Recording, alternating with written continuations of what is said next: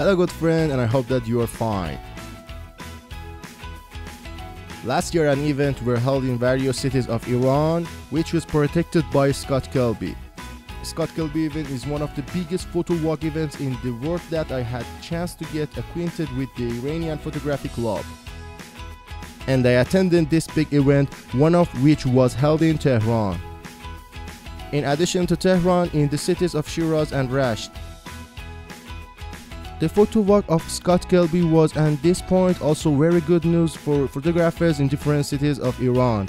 Based on the information I have, the Scott Kelby event held in Tehran by the Iranian Photographers Club was the largest event that took place in Iran. A crowd of 200 photographers participated in the event and celebrate major event in Tehran. The House of Mudarris, the Nawab Bath, the great and historic school of the Dar al Funun and etc. was were placed where this great event was held.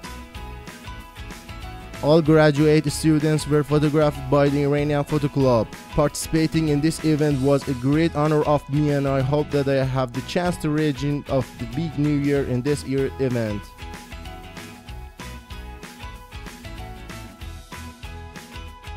Thanks Kurosh Yazdani, director and teacher of the Iranian Photography Club, who led this big event in Tehran.